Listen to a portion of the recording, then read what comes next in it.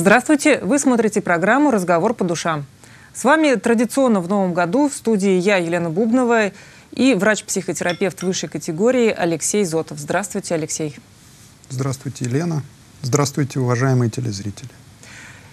Я напоминаю нашим телезрителям, что у нас э, прямой эфир. Звоните, телефон в студии на вашем экране. Мы готовы выслушать ваши новые истории. Также готовы к историям э, тех людей, которые нам звонили в прошлом году. Может быть, вы готовы рассказать э, о том, как развиваются ваши события, есть ли изменения какие-то в вашей жизни. Может быть, какие-то комментарии по нашим прошлым встречам и разговорам. Э, я слушаю вас и присоединяюсь, Елена, к тому, что вы говорите. Э, мне нравится, как, э, как бодро вы говорите о готовности. И я подумал, что, э, ну, наверное, может быть, я не всегда готов. Хотя, ну, что-то выслушать или что-то принять, или что-то в чем-то вообще поучаствовать. И... Сейчас вы готовы к разговору? Вы уже включились в рабочие процессы? В новом году? Я включился, ну вот мой комментарий, наверное, к тому, может быть, отчасти занудный комментарий, к тому, что мне кажется, мы не очень э, знаем, чего нам предстоит, в том числе в новом году. И мы не знаем, э, кто нам позвонит, с чем нам позвонит, о чем нас спросят. И вообще вот эта определенная бодрость готовности, она, на мой взгляд, очень хороша, это очень хорошая штука. Да? Приходите, мы готовы. Я же надеюсь, что нас э, в этом году с вами, Елен, в этой студии ждут разочарования в неготовности. Окажется, что мы, может быть, каким-то звонкам не готовы, но в этом смысле, может быть, это позволит нам всерьез к ним отнестись и найти какие-то ответы. Я бы вот так ответил.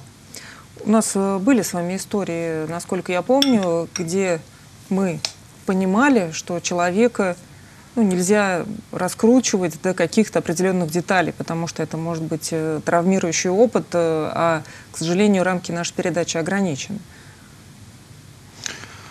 Э, ну, наверное, да, и, может быть, я имел в виду, это не значит, что этого я не хочу и не стоит этого делать, это я сейчас к телезрителям обращаюсь, но вот звонят люди и говорят об одиночестве, говорят о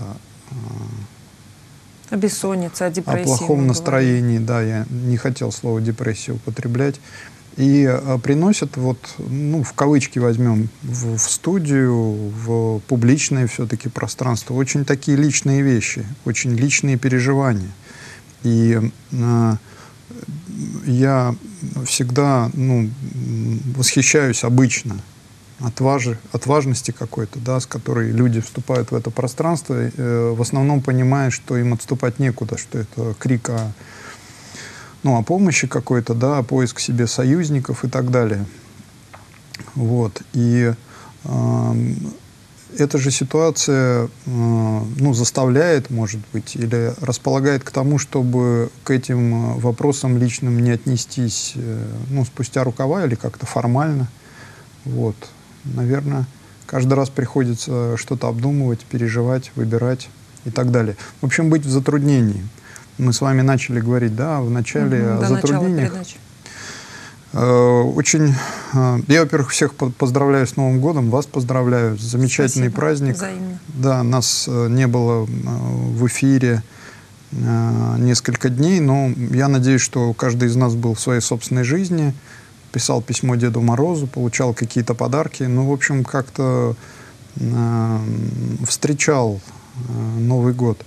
Э, и э, мне кажется, что помимо того, э, тех каких-то планов, ожиданий, предвкушений, я не знаю, весны, может быть, уже лето, открытие границ, окончание болезней, нас ждут какие-то затруднения. Может быть, о них можно было бы поговорить, если у кого-то из наших телезрителей есть какие-то затруднения в общении, может быть, да, или еще Но сейчас нас объединяет общее затруднение, это большое количество снега на улице, затруднение в передвижении. Да, снег э, завалил все привычные тропинки. Снег э, вызывает массу чувств. Э, я вижу, как люди включая меня, ищут место для парковки. Мне очень хочется э, вот текущую ситуацию использовать как метафору какую-то к э, тому, что происходит в коммуникациях очень часто, в общении. То есть э, город, расчищенный от снега, это город, готовый для коммуникаций, ну, для рациональных коммуникаций. У каждого своя тропинка и так далее. Ну, в разговоре также бывает. Мы э, знакомы с кем-то много лет и говорим о, об известных вещах, и известные какие-то темы обсуждаем, может быть, известным для нас языком, а потом выпадает снег в коммуникациях, и возникают какие-то затруднения. Наступает холод. Ну, не знаю, холод, но то, что э, приходится искать снова дорогу друг к другу, приходится подбирать слова, приходится ждать.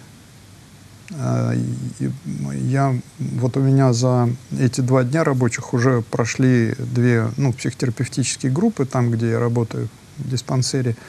И они были посвящены в том числе и ожиданиям тоже, и ожиданиям, и нетерпению какому-то, да потому что ждать очень тяжело. Можете пример какой-то привести, чтобы стало понятнее, о чем вы говорите? О каких ожиданиях? Да. Ну, это может быть ожидание э, результатов, это ожидание внимания, это ожидание э, подарков, это ожидание решения вопросов, которые вот, э, может быть, из 2020 года в 2021 нерешенными протянулись. Я думаю, что в нашей жизни много ожиданий. И люди как эту проблематику ожиданий обозначают? Э, на что вызывает напряжение, там, злость, бессилие? Может быть, э, мы подождем звонков, Елена, люди сами скажут, как они воспринимают. Может быть, вы скажете, как вы, есть ли в вашей жизни ожидания? Напомню нашим телезрителям, телефон в студии 202 11 22. Звоните, делитесь своими историями. Конечно же, у меня есть ожидания. Маленькие, большие, краткосрочные, долгосрочные. Но, как мне кажется, я с годами научилась ну, более гибко к ним относиться. То есть те ожидания, которые оправдываются, они, конечно же, приносят мне радость. Те ожидания, которые не оправдываются, я анализирую, понимаю, или совсем нужно от них отказаться, или немножко переформатировать. То есть я могу отложить там, на какие-то еще определенные сроки от ожиданий, там, подождать. Ну, это же функция взрослых, э, умение ждать. Э, дети с нетерпением ищут подарки под елкой каждый день. А взрослые, наверное, готовы подождать. Ну вот кстати, готовы подождать, это продолжать верить в Деда Мороза, что он пусть не принес за эти 12 дней подарок, но принесет, может быть, э, через месяц или через два, или приходится распрощаться с идеей, что Деда Мороза нету? Перебью, Алексей. Угу. У нас звонок. Здравствуйте. Э, добрый вечер. Добрый вечер, Алексей. Добрый вечер, Елена. Добрый вечер. У, у меня очень тяжелая проблема. Дело в том, что моя дочь, ей больше 40 лет немножко, у нее двое малышей, э, маленьких деток, и большие проблемы у нее отношений с мужем. Конечно, там все на ее болезни, но дело в том, что у нее нет помощи. И она где-то в силу болезни, где-то в силу избалованности, можно сказать, хулиганит. С мужем она ну, непомерного требует от мужа. Он ее раздражает, хотя мальчишка очень хороший. Я вот теща, поэтому, можно сказать, со стороны скажу, хороший отец, хороший муж, старается, зарабатывать, но все делает не так. Что бы я хотела получить? Я бы хотела, чтобы она нашла или групповые занятия, или индивидуальные, кто бы помог наладить им вот эти отношения. Понимаете, у них очень маленькие детки, они сами умные люди, образованные. Вот как мать вас прошу, помогите. А вас как зовут? Меня зовут Лариса. Ага. Ларис, а, а дочь э, хочет, она как-то говорила да, о том, что... Да, да, да. Но если вопрос э, лежит в абсолютно практической плоскости, где найти группы, где найти занятия, у нас э, в процессе передачи есть там бегущая строка, можно обратиться в центр и задать вот вопросы, вам обратиться или вашей дочери обратиться. Вот. Если речь идет вообще о группах, ну их достаточно много, Ларис, сейчас в Самаре, а, и ну, в диспансере идет группы, да. В диспансере ничего не предлагают, представляете? Ага. В диспансере предлагают таблетки, больше ничего. Ну, позвоните, вот, по, если уж э, сейчас об этом разговор, у нас э, сопровождают нашу передачу телефоны, позвоните, я думаю, что что-то можно будет придумать. Хорошо. Вообще, да, спасибо вам. Спасибо. Оставьте свои контакты, да, если не получится, мы да, готовы мы, связаться мы и проконсультировать. И да, да. Угу. Эм, ну вот э, интересный звонок. Э, я думаю о том, что вот не сама дочь позвонила, да, позвонила мама, которая видит эту со ситуацию, стороны. да, угу. видит эту ситуацию со стороны. И, ну, может быть, э, я сильно не вторгнусь в эту проблему, потому что не хочу сейчас сильно в нее вторгаться, но по сути это тоже то, о чем мы сегодня начинали говорить, Елена, с вами за кадром, да. То есть вот это звучит так, что раз она хочет чего-то от супруга, вот сейчас мама что-то делает для того, чтобы дочь была удовлетворена, да, ну, ну вот теща ищ... удивительно. Обычно мамы своих детей защищают, да, а тут угу. вроде как э, мама пытается занять ну, и нейтральную позицию, но и в большей степени готова поддержать мужа, который с ее угу. точки зрения старается. Угу. Угу. Ну, я думаю, что мы знаем очень мало, и я надеюсь, что, значит, дочь э, Лари, Ларисы да, придет э, на занятие, и что-то можно будет выяснить и каким-то образом помочь. Вот. Ну вот, да, семейная ситуация. Э, слово «хулиганит» так меня очень заинтересовало. Ну, Лариса да. сказала, в силу болезни, мы не знаем, что это за болезнь, и, как я услышала, есть опыт обращения в психдиспансеры, где предлагают таблетки. Угу. Ну, не знаю. Э, э, Все, я думаю, что не так однозначно. Э, где-то таблетки, где-то группы. Одно поможет, другое не поможет. Кажется, здесь очень много категоричности пока. Вот такого какого-то черно-белого. Вот. Еще раз, я думаю, что мы сможем разобраться, или коллеги смогут разобраться, если там, люди при... обратятся за помощью.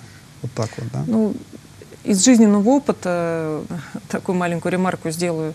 На мой взгляд, если мама будет э, дочери больше транслировать свою позицию, поддерживающую мужа, ну, только еще больше нарушит коммуникацию между ними, между мамой и дочерью.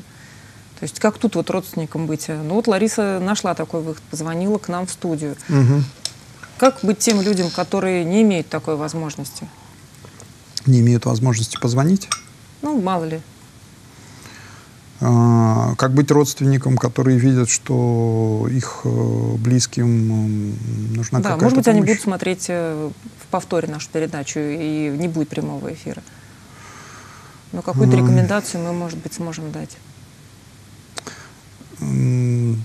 Иногда бывает так, что ну, много каких-то, может быть, ответов. Я думаю, что если я начну их перечислять, я буду распыляться. Один из ответов я дам. А, иногда он срабатывает, когда а, родители хотят, чтобы их дети а, пошли к специалистам, начали чем-то таким продуктивным заниматься, помогать себе, и они мечутся по центрам, по людям с просьбой, чтобы их детей взяли то одним из хороших способов является поход самого родителя к специалисту на консультации, на группы, для того, чтобы разобраться.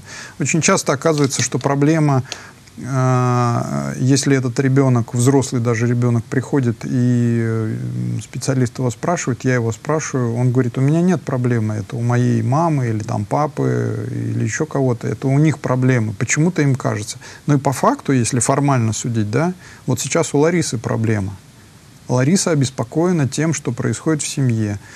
А, пока она это воспринимает как проблему и сделала какой-то шаг.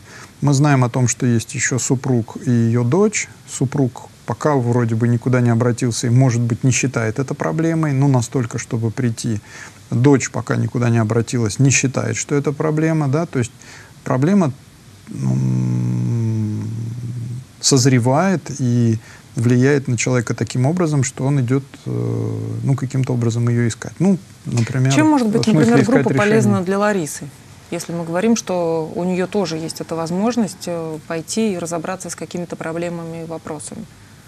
Я пока не знаю, но уверен, что она может быть э, полезна. Это не значит, что я всех зазываю в группы, хотя дело это интересное. Э, я имею в виду участие в групповых процессах, не обязательно психотерапевтических, да, э, потому что мы живем в группах, и очень много вещей мимо внимания какого-то нашего проходит.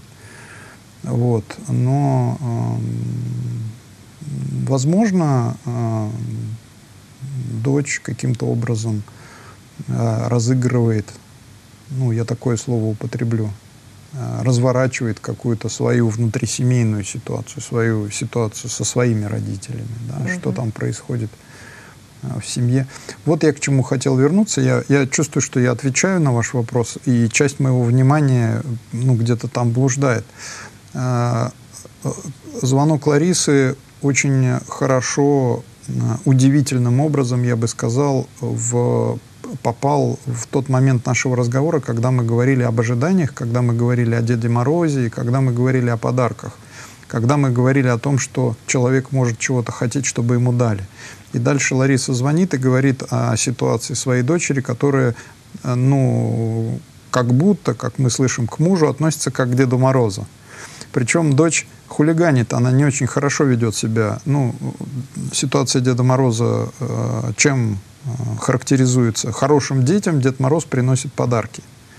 И э, каждый Дед Мороз Каждая другая воплощ... связь. Тут э, девочка ведет себя плохо и при этом еще и обвиняет ждет... э, Деда Мороза и в том, что подарков. он не приносит ей подарки. И ждет подарков. Я думаю, что это очень интересная, очень э, непростая, может быть, ситуация.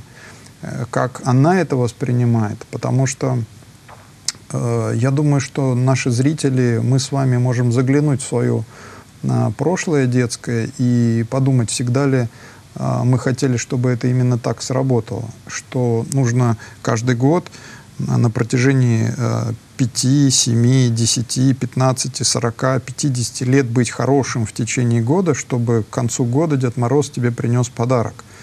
Ну, э, я э, предполагаю, что э, думаю, что часть часть зрителей понимает, что речь идет не только о материальных подарках, не только о какой-то коробке, положенной под елку, да, это подарки какого-то другого, иного рода, да, это подарки могут быть эмоционального характера, это подарки могут быть нематериального какого-то ну, характера. Насколько я да? знаю, в конце года люди задаются вопросами о счастье. Ну, например, да, буду да? ли я... С Новым годом, с новым счастьем. А, да. а где вот мое старое, было ли у меня счастье или не было? Потому что даже по социальным сетям, если судить э, ну, вот эти вопросы, да, а что для меня счастье, а как это, а у кого-то есть оно, или я один только им брежу, вот угу. по-разному. Да, и вот эта вот э, э, проблема, если можно так сказать, или ожидание, что э, мне э, э, принесет Дед Мороз, как бы, как бы я его не воспринимал, э, вот это самое счастье или хотя бы часть счастья, вот, э, и, и при этом мне нужно быть послушным или непослушным, или это вообще никак не связано.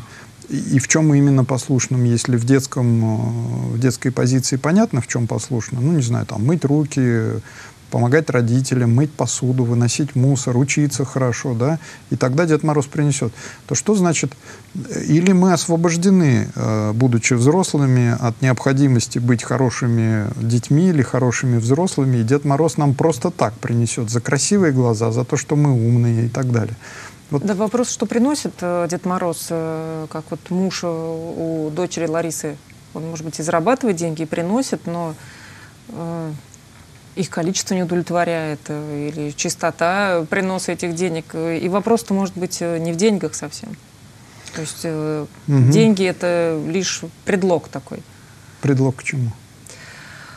Предлог, чтобы затеять скандал, возможно, похулиганить, выплеснуть свои чувства, злость, почему? агрессию, но они к деньгам могут и не иметь отношения. А почему вы заговорили о, день, о деньгах, Елена? Ведь э, вроде бы Лариса не говорила о деньгах. Или Лариса мне... сказала, что он зарабатывает. А, а мне показалось... А она он... с него все просит и требует. Да. Мы э, иногда в, ну, в кабинете, на группах как раз касаемся этих э, проблемных вопросов. И вот недавно мы тоже говорили о том, насколько любовь может быть конвертирована в деньги, в какой мере, в каком количестве, и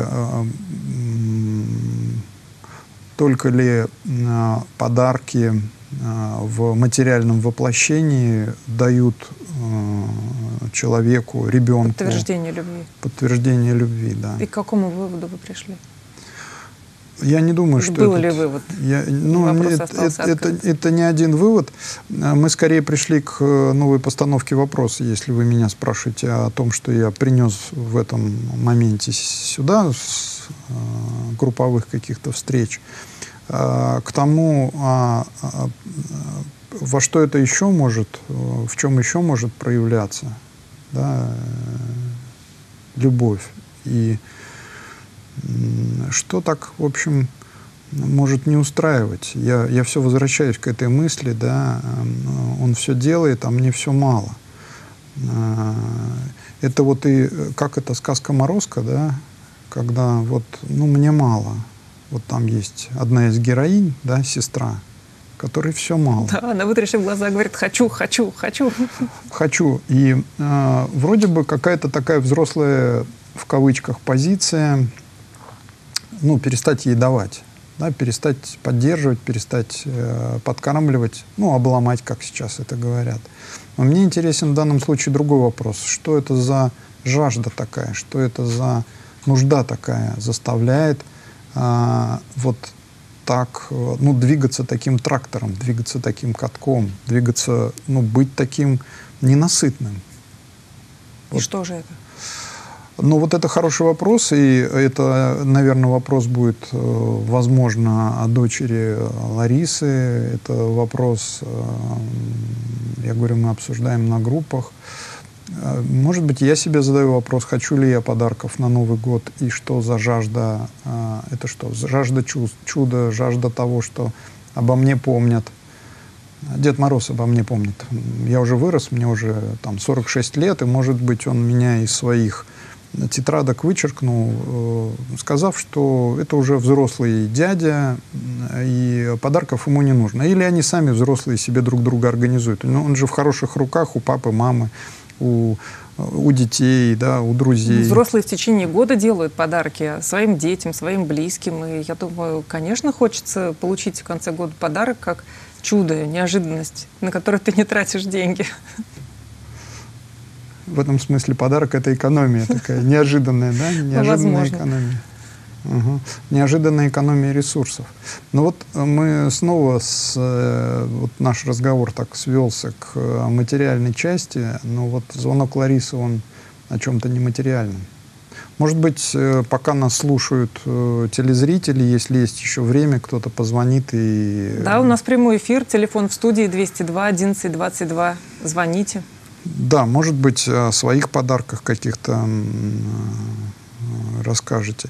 Вот как-то мы сегодня вокруг затруднений, вокруг подарков, вокруг ожиданий, вокруг э, вот такого наваленного снега и необходимости откапывать э, себя, машины, дороги, искать новые какие-то тропинки. Вот какая-то такая кутерьма. Я думаю, что мы так Новый год начинаем э, в передаче из каких-то, может быть, осколков, э, вот таких э, оставшихся с прошлого года, текущих. Вот навалил снег неожиданно абсолютно. Не было бы его, мы бы, может быть, об этом и не говорили. Мы говорили об ожиданиях, вы меня спросили, Алексей, в свою очередь и я вас спрошу. У вас есть ли ожидания от этого года? Были ли ожидания у вас на новогодние каникулы? Оправдались они? Это очень э, для меня сложный вопрос, Елена. И э, ход моих мыслей был такой на Новый год. Э, я четко понимал, что я особо ничего не жду. И у меня было ощущение, что мне всего достаточно. Э, но где-то рядышком была мысль, не обманываю ли я себя. И э, для меня Новый год э, хорош тем, что, по сути, это ворота в детство. Ну, в какой-то момент эти ворота открываются. Я имею в виду то, что какое-то праздничное настроение, э, смена календаря, ну что-то в этом есть магическое, волшебное. Вклинюсь, э, да. будучи взрослым, вы знаете, что вам делать около этих открытых ворот? Э, э, я, безусловно, знаю, что я хочу в них шагнуть. А что меня там ждет, я не знаю и к чему это приведет. Но вот, э, отвечая на ваш вопрос, этот Новый год был э, скорее ротозейским таким. Я ничего не искал под елкой, я скорее ходил, э, зайдя в эти ворота, и был вот этим ротозеем, который смотрел, а чего происходит. Салюты, елочки, люди ходят радостные и счастливые или грустные, да, что-то в мире происходит, какая-то очень э, серьезная заварушка. Наверное, я был таким зачарованным ребенком в этот год. А жду ли я что-то... Да, и вот эта вот мысль, неужели все поменялось э, в хорошую сторону? Мне нравится эта сторона, ходить и, может быть, не ждать каких-то таких особых вещей. Хотя, когда э, были подарки, мне было очень приятно. Вот. Наша передача близится к концу, и я предлагаю, Алексей, у нас есть уже телезрители, которые смотрят нас э, каждый раз, а есть, возможно, новые телезрители, которые присоединились э, к нам в этом году. И, возможно, из сегодняшней передачи, где вот мы как калейдоскоп да, немножко про это поговорили, угу. про это не очень понятно, о чем наша передача. Наш... С какими да. историями можно звонить, какие вопросы задавать?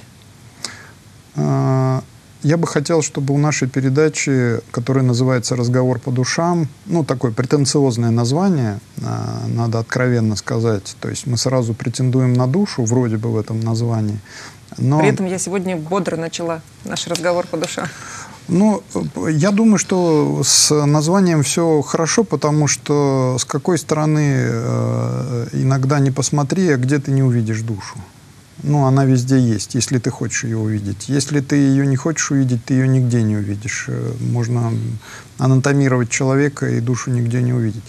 То есть для меня это разговор какой-то может быть вне э, привычных каких-то тропинок, вне каких-то привычных ответов, вне привычных пониманий психотерапии или психологии.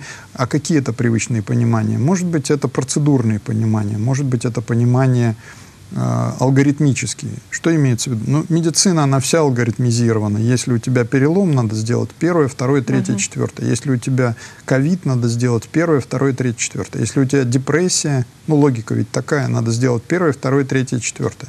Штука в том, что с душой так не всегда работает. Поэтому для новых э, телезрителей, э, для себя, как напоминание – Э, мне хочется делать э, передачу о том, чтобы она была вот таким каким-то пространством, не очень отрегулированным и не готовым, затруднительным, в которые присоединятся люди, звонят, и мы чего-то э, узнаем, как наши души и тела существуют. И мы ну, практически не даем инструментарий или не даем алгоритма. Да? Сделай раз, э, сделай два, сделай три, и будет тебе счастье в новом году да, или в прошлом году. Э, но мы говорим о процессах, которые происходят в душе, в отношениях между людьми, да, и о тех вопросах, которые встают э, перед людьми в этих отношениях. Это так. Э, алгоритмов нет, потому что в том числе мы, как мне кажется, на какие-то тропинки неизвестные выходим. Ну, хочется так думать. Не ради самих неизвестных тропинок, а ради того, что ответы всегда индивидуализированы. Они очень часто похожи вот на те самые э, находки, подарки, которые лежат, э, вот двинулся, не знаю, как стихотворение писать, угу. двинулся знакомые слова, все очевидно, а потом вдруг что-то расцветает. Спасибо Лично большое, Алексей, за сегодняшний разговор. Напоминаю нашим телезрителям, что мы в прямом эфире выходим каждый вторник в 18.15 на телеканале «Самара ГИС». Всего доброго, до свидания, с прошедшими праздниками. До свидания. Берегите себя.